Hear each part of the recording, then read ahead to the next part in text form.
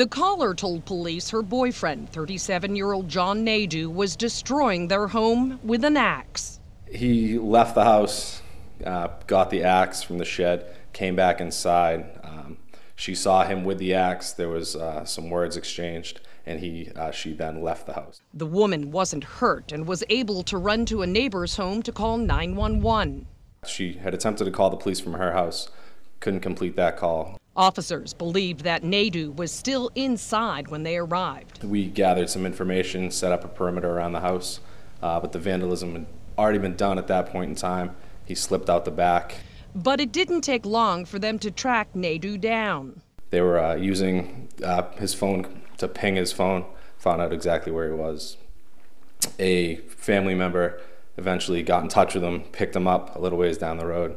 We were notified of that, and they brought him to the Newton Police Department where he turned himself in. Police say Nadu used the axe to destroy thousands of dollars worth of items in their home.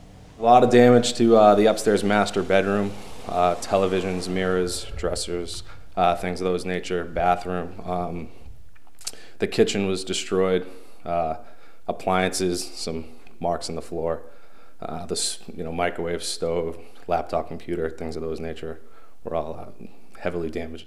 Nadu is facing three counts of felony criminal mischief as well as reckless conduct in a domestic violence assault. Police say other charges are possible. Nadu was arraigned this morning. Bail was set at $2,500. In Newton, Suzanne Rowntree, WMUR News 9.